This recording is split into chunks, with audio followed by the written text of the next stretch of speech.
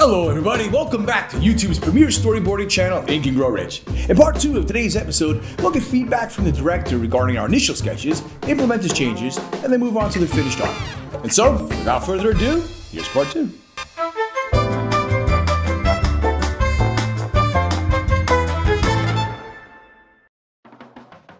In our last exciting episode, we pulled together a set of initial sketches and then shot those off to the director. Let's go ahead and pick up with his response, which reads Hey Vinny, thanks for those. We have a better idea of location now. Let me know your availability for a call this morning. After sending me this new location document that you're looking at now, I had a call with the director and he walked me through the changes. Right off the bat, the single biggest adjustment we're going to need to make is to change the location in the boards to match the actual physical location. Now, I wish I could tell you this was a rare occurrence, but the truth is, sometimes people are just in a rush to get the ball moving, and so they'll have you start drawing up the boards before locations are nailed down. It happens, you go with the flow, and you accept that it's part of the process. Now, as you may remember, our first pass at a spot began with an exterior shot of an apartment building. That shot has been eliminated entirely. Instead, we're just going to open inside the apartment as the party begins to hit its stride. As usual, I'm just going to trace right over the location photo they sent me and focus just on throwing some people in here to populate the party. So basically, you just trace.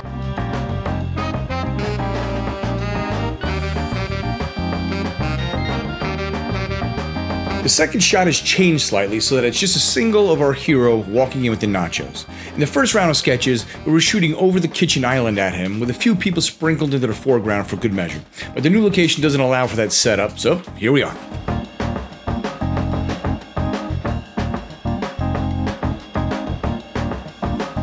For shot three, we're going to punch in for a close-up product shot as he puts it down on the table.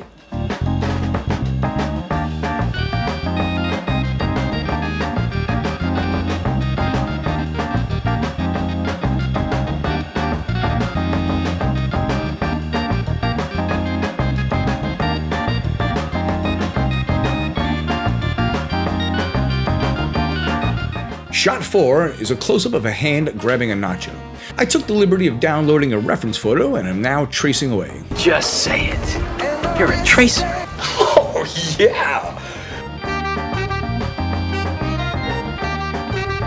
Going back to our original boards, we had drawn up a three person reaction shot, which we can still use, except we're going to now make that shot 4, and we'll move the nacho close up forward by one frame. You remember in the original boards how the director wanted to mimic this opening shot of Star Wars? Well, apparently the client aren't fans. They asked him to change it. So these next three frames are going to describe a slightly different reveal. The camera's still pulling back slowly, but now we're at a three quarter angle instead. Plus, I've now got photos of the actual nacho box to work with. Though the original shot wasn't approved, we can still go back and salvage all of those hands that I drew, so it's not a complete loss.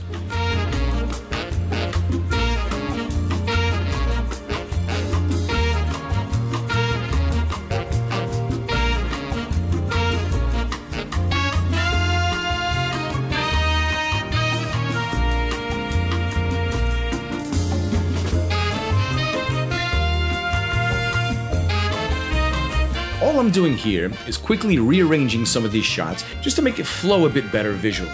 Then I'm going to open up my arrows stock sheet and copy a few arrows and paste them into place.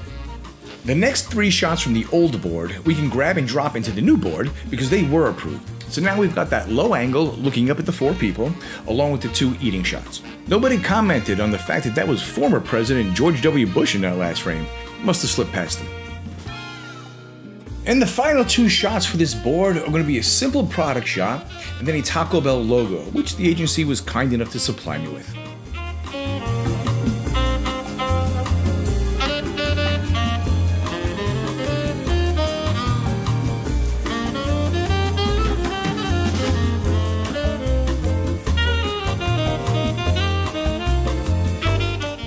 With our second round of sketches done, it's time to once again shoot them out to the director for approval. Shortly afterwards, I received this email saying, It all looks good, just 5C could be a bit wider. Good to clean the frames, thank you. And that is the green light we have been waiting for. From here on out, all I've got to do is trace over my existing sketches and clean things up a bit. You f***ing tracer! Your mother's a tracer!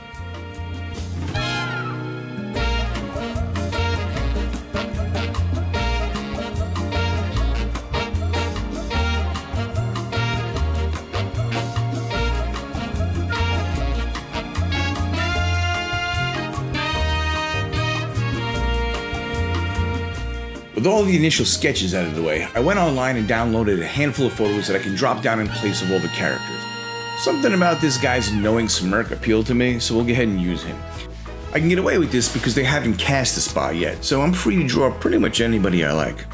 For this background character, I'm just going to grab somebody from my stock extras page. For those of you new to this channel, I keep a library of commonly drawn assets which I can draw from when it makes sense to do so. So I've got collections of cell phones, cars, buildings, you name it. This particular file has a collection of background people that I've drawn up over the years. Every time I complete a job, I'll go through boards to see what can be recycled and add that to my collection. Over the past few years, that library has really grown and is now super useful. If you're drawing digitally, I would really encourage you to start one of your own.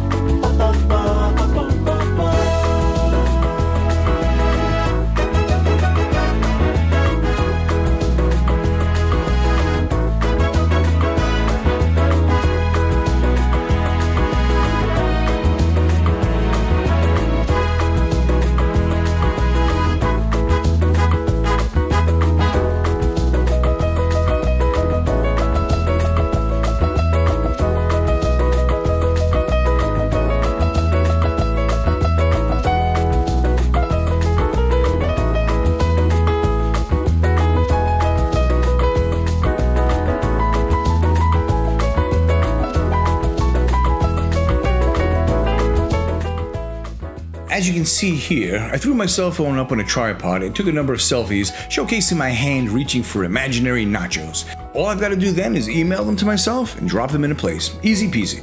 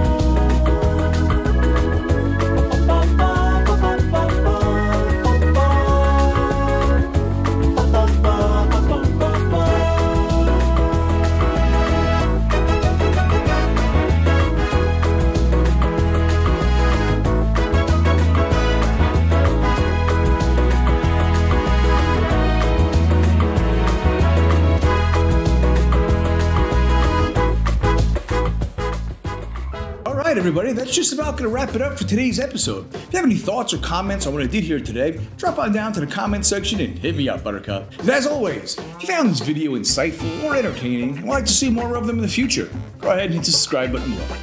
Till next time, this is Vinny Dellay with Ink and Grow Rich.